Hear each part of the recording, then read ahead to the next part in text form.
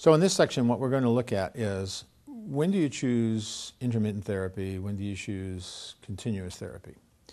And uh, that type of choice is sort of difficult. Frequently, it happens based on what works in your hospital, what's available to you, um, what is the, uh, the magic pill that somebody took that morning uh, who makes these decisions, uh, things of that nature. So let's try to put it into a little bit more perspective and maybe uh, put, put a little bit more of a foundation on some of these decision making. So the first thing I think we want to do is take a gander at what the patient is, what environment is the patient in.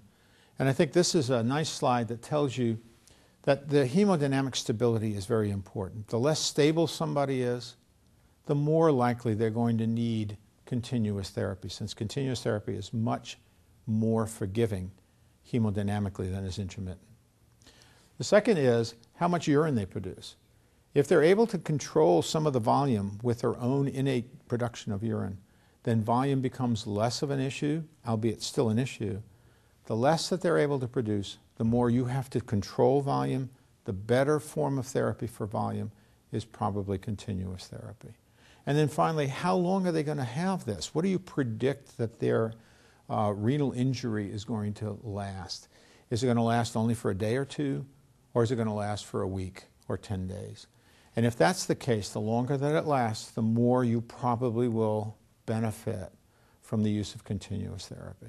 So if you look at the graph, continuous therapy tends to be in the long-lasting anuric hemodynamically unstable patient, whereas the intermittent form of therapy may also be used in unstable patients, but generally in the non-oliguric and generally in those that have a shorter duration of acute kidney injury.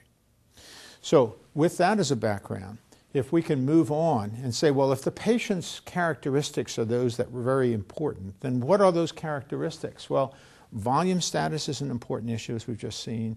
The more someone's overloaded, the more probably you want to go towards continuous therapy. The therapy delivery demands, how, much, how aggressive do you want to be with them in control of urea? Are they very catabolic? Can you control that with intermittent, or do you need to go to uh, urea control with continuous? The hemodynamic parameters of that patient, how stable or unstable are they? Urine production, as we've just seen, and then the etiology. And here's a, here's a controversial area, and we'll get into that in a later podcast as controversies. But one of the areas is if they have sepsis or other etiologies, they seem to do better in continuous therapy than in intermittent therapy. Yet to be proven, but there is a common practice thought that perhaps that's what's happening. So as we move on, we can see that volume, electrolyte balance, azotemic control, pharmacological considerations, very important, by the way. When you're on intermittent versus continuous therapy, the whole idea of drug control is different. Continuous therapy tends to remove more drug than does intermittent because it's more continuous. That's obvious. Non renal support systems and experimental considerations are what's driving the goal for a lot of these therapeutic interventions. And so, if we then move on and say, well, can we come up with specifics?